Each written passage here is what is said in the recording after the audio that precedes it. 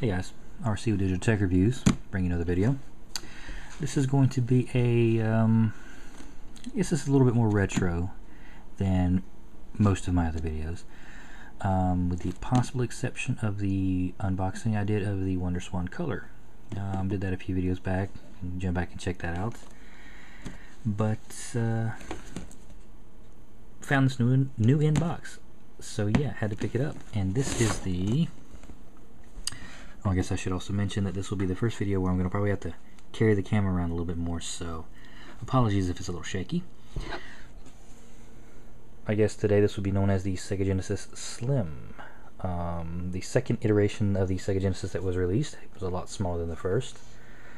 Unfortunately, it also uh, was absent the uh, front headphone jack, which would give you stereo if you had the right kind of cable. But here's the front of the box. Uh, you notice down here, columns cartridge included. And, um, hmm, let's see what else. Let's see if I can get this in focus.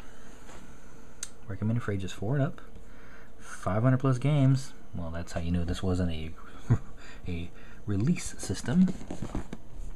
Comes with Genesis unit, one control pad, one AC adapter, one TV antenna switch box, and Columns game cartridge. That's right, this didn't come with AV support, AV cable support. Hmm. Around to the back.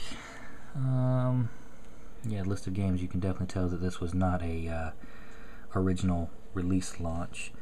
You know, got Sonic the Hedgehog 3 here, uh, Ren and Stimpy, that was another good one. Ecco the Dolphin, that was a really good one.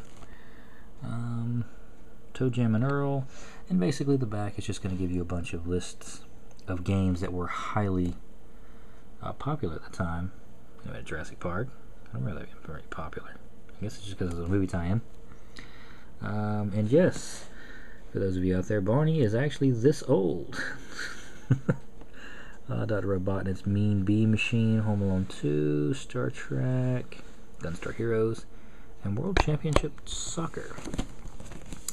Bottom of the box claims that Sega has everything you need extra peripherals, of course, being the 6-button arcade stick, the 6-button arcade pad, and a remote arcade system, which, if I remember correctly, was horrible wireless controller that you had to point at the little receiver. Uh, it also had uh, multiplayer support up to four players. I don't remember ever seeing that. And of course, the Sega CD system. But enough of the box. I always want to see what's in the box. So, and yeah, this will be another part where I'll probably have to carry around the camera.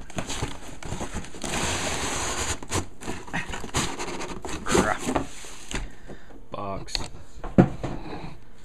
And here we have the insides of the box. Bag with the con... what's this? Hmm. Focus. Okay, there we go. As I hit the camera with the bag, I'm pretty sure that's helpful. Oh, a bag in a bag. what do we have here? The columns instruction manual. Is it even in color? Nope, black and white. A a welcome to the next level. Sonic the Hedgehog 3. Um, it's a poster? I don't remember this. Oh, very cool the old Eternal Champions game. If I can open this without tearing it. Yeah, this is not gonna come out way too big.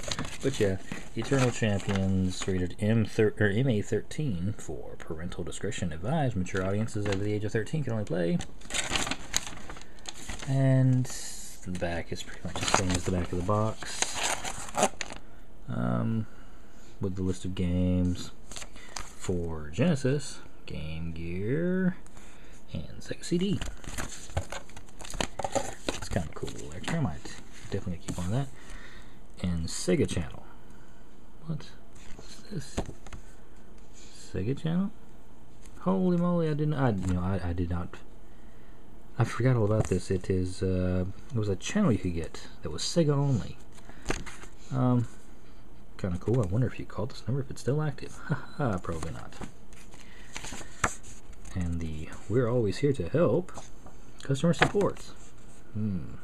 Different bar numbers. the insanely large instruction how to hook up pamphlet, which that's just two folds of it. that I'm going to try, but it's interesting that they've been putting epilepsy warnings on video games since the since the Sega. Oh, look here. Get Sega Vision six months free and learn to win. Hmm. Yeah. Alright. Game. Didn't come with a box. Um, columns game. If I remember correctly, this was.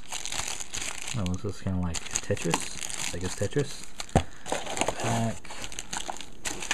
Oh. That's right. It's an RF adapter, which honestly, I don't even think my LCD TV will actually show this. I'm going to buy a RCA cable.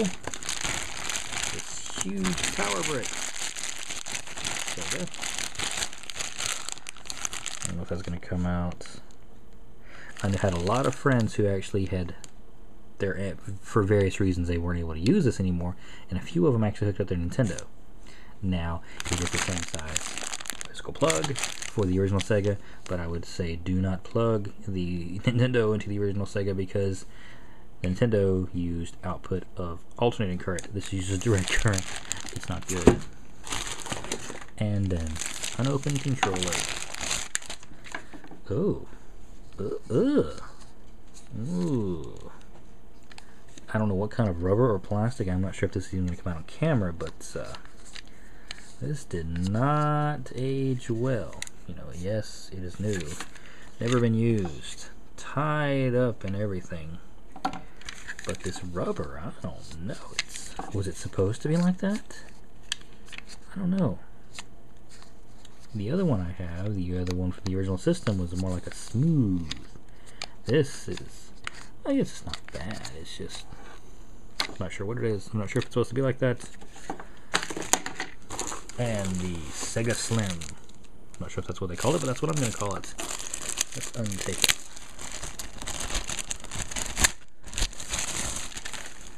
And there we have it. I'm pretty sure this was just called a Sega Genesis 2. Matter of fact, I know it was called a Sega Genesis 2, but since everybody nowadays calls their smaller re-released system Slims, we'll call this the Sega Slim. Power button, reset button, little light here, it's missing the, uh, the original had a little headphone jack here and had a volume, which would give you stereo sound, because this one natively does not support stereo sound.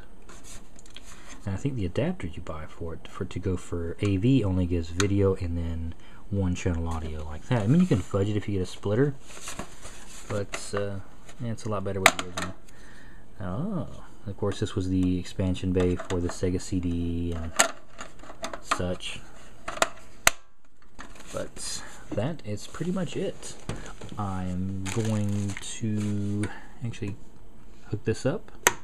And if I had a way to screen cap, I would try that. But with, uh, with this, hmm, not sure it would work so great. But that was my unboxing of a Sega Genesis version 2 or Sega Genesis Slim. Um, I think that's pretty much it.